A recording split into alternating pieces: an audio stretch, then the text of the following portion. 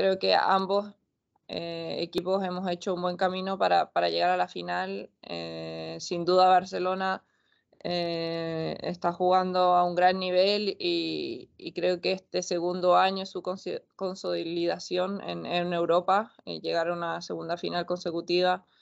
Los dos equipos son muy buenos, nosotras tenemos de nuestro lado la experiencia al haber ganado siete veces ya una Champions, pero, pero sabemos que enfrente hay un rival durísimo y que, que, va a ser un partido complicado. Así que yo creo que va a ser muy parejo y, y no te podría decir quién es el favorito.